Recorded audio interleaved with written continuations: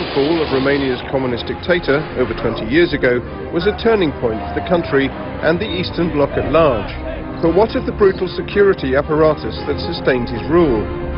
With crucial parliamentary elections next month, the people and power investigates whether the much-feared Securitate is still controlling Romania from the shadows.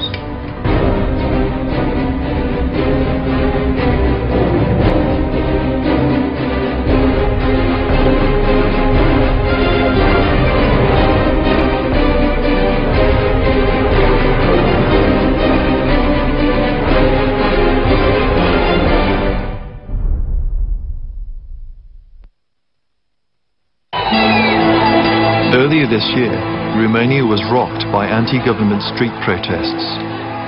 Now it's in the grips of election fever. Its right-wing president, Traian Băsescu, is locked in a bitter power struggle with left-wing Prime Minister Victor Ponta. And the president's past may be catching up with him.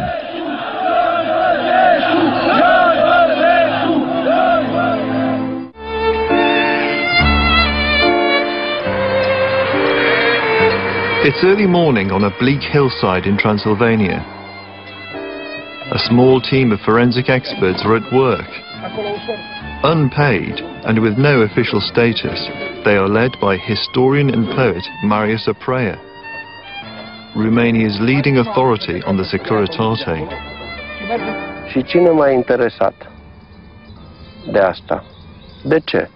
Iar răspunsul pe care îl dau întotdeauna e, e foarte simplu. Niciodată nu este prea târziu pentru adevăr. Asta este esența. Nu contează altceva. Adevărul. Să aflăm, să încercăm să, să aflăm ce s-a întâmplat cu cei uciși. By midday, the team make a gruesome discovery.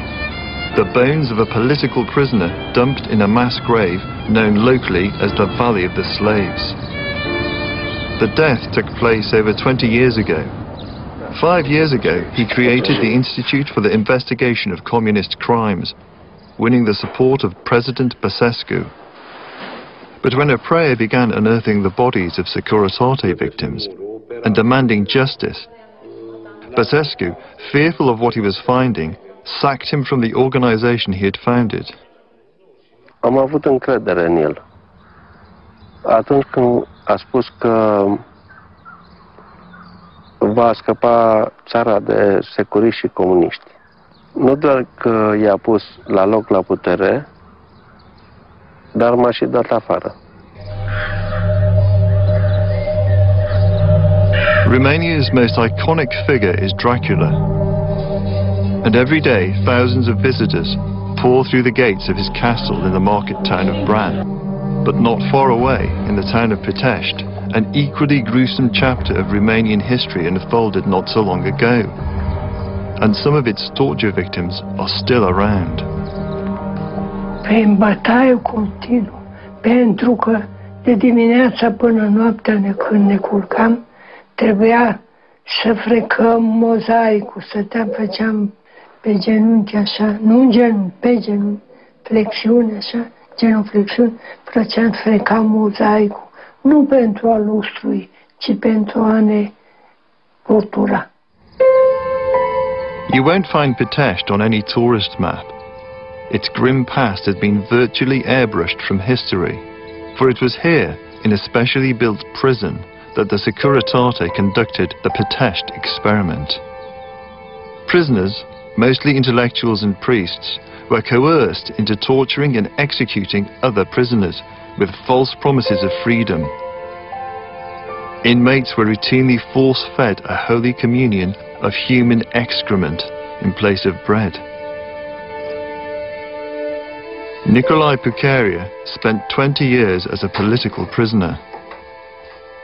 Pentru că a fost perioada Paștelor în care ne-au umilit, ne-au umilit în fel și cuc, în loc de, de, de, de prohod, au făcut o parodie de prohod cu blesfamii de tot felul, cu bajucurirea Sfinților lui Hristos. De, de exemplu, a pus pe unul din noi care era student la teologie, stătea pe urdău, a scos din urdău murdărie și dădea cu lingurița la fiecare spovedanie. The writer Solzhenitsyn called Pitești the most terrible act of barbarism in the modern world, yet few have heard of it.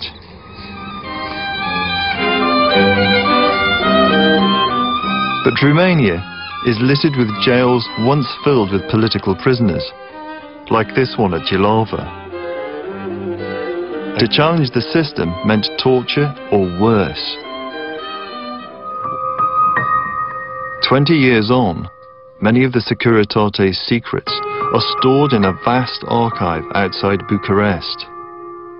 Files were kept on virtually everyone, with the sole purpose of blackmail. An immense dossier to control the population. It took 18 years before they were finally opened to the public, and only then under pressure from the EU. In a country where brother spied on brother, reading one's personal file is often a traumatic experience. Să-ți credeți că ar putea să simt. Mă doare sufletul de. După atâția ani de zile, să acum adevăruri despre el. Mulțumesc. 24 kilometers of documents still lie on these shelves.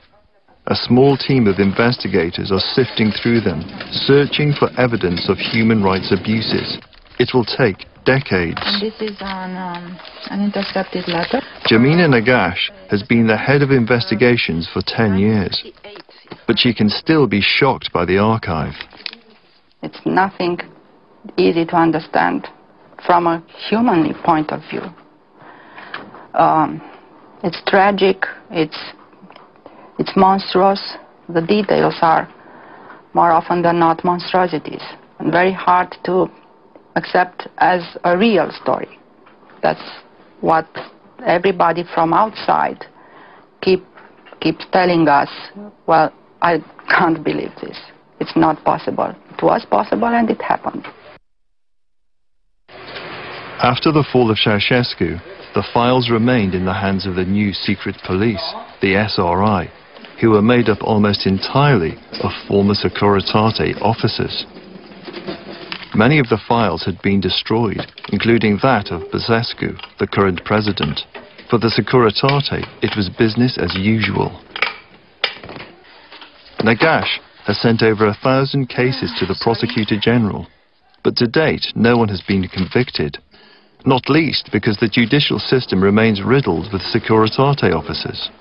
If you see the list of persons we send to the court, you, you will see some of the names in the list are Securitate officers in the judicial system. They were assimilated immediately after the revolution, some of them. So they are still active, of course. It's very simple. According to Constantin Bucur, who was a captain in the Securitate before joining the SRI, state surveillance has actually increased.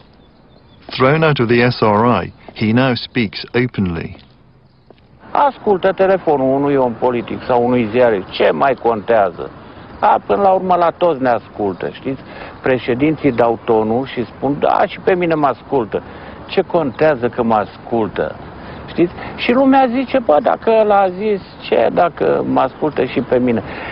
Nimeni nu se gândește că este o răstrângere a drepturilor omului. A, intra, a asculta telefonul înseamnă să-ți intre în casă, să-ți intre în intimitatea ta, a familiei tale, a relațiilor tale. E ceva urât. The regime's political opponents find that they are still shadowed and continue to have their phone calls monitored, like novelist Stelian Tanase. They want to control and to know everything about us. What? My private life, my manuscripts, my friends, my relatives. They're, they're details of, of our lives. But they want to be in control, then it means to have details about me, information, to blackmail, to threaten me. Under Ceausescu, the Securitate maintained a tight grip on all sectors of the Romanian economy. After the revolution, they simply put state assets under their own control. Securiștii și activiștii care au răspuns de uh, comerț. Au luat spațiile comerciale, toate magazinele s-au privatizat, uh, nu știu, securiștii care au răspuns de industrie. Au luat marile uh, regii, fabrici. Nu poporul care a ieșit în stradă n-a luat nimic. Uh, adică toți săraci au rămas oamenii.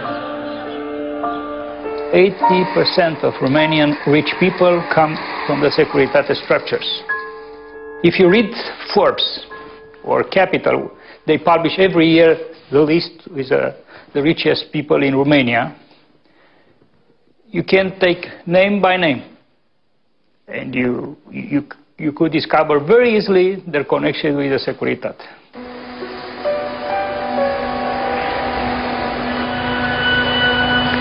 And away from the capital, it's as if the bad old days of Ceausescu had never gone away. Deep in the Carpathian Mountains lies the spa town of Borsec, once the haunt of royals. But now, many of the villas lie derelict. With the fall of communism, they should have been returned to their owners. But real estate companies have delayed handovers. The buildings become dilapidated and are then bought for a pittance, only to be pulled down, a cynical ploy to acquire prime real estate. And now most of the town belongs to former secret police. Otto Kish, who has lived in Borsec all his life, was the only resident prepared to talk. Hát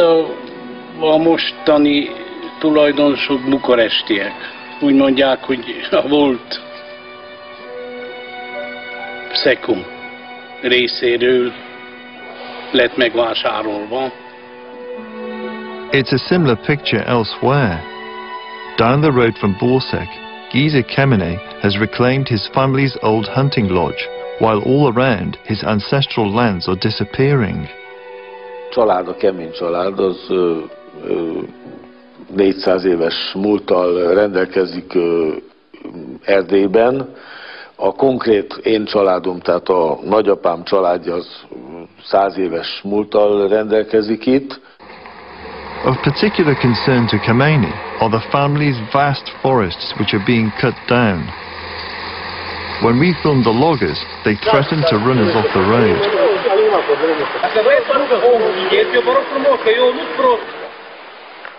Nehéz elviselni. Nagyon nehéz elviselni azt, hogy nap mint nap több, több száz köbméter fát elvisznek az erdőből, de nyilvánvalóan itt nincsenek rendben a dolgok. Even Borsec's famous mineral water, the region's major asset, sold throughout Romania, is owned by former Securitate officers.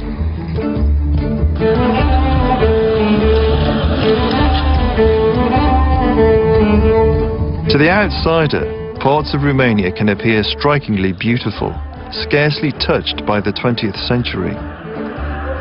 Traditions are strong, and religion remains central to the lives of many in this deeply spiritual country. The Orthodox Church is the one institution which still commands respect.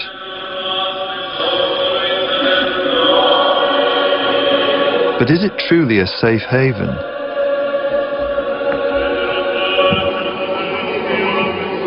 Archbishop Vasile Zainea Pimen cuts an impressive dash. He is number two in the Orthodox Church. But Pimen led a double life, first spying on his brother priests for the Securitate, before graduating to Ceausescu's Foreign Intelligence Service and informing on dissidents overseas. Pimen is just one of a score of senior bishops who betrayed their flock for the dictator, yet who continue to enjoy rank and status in the church. But how far does it go? Many allege that President Basescu himself worked for the Securitate.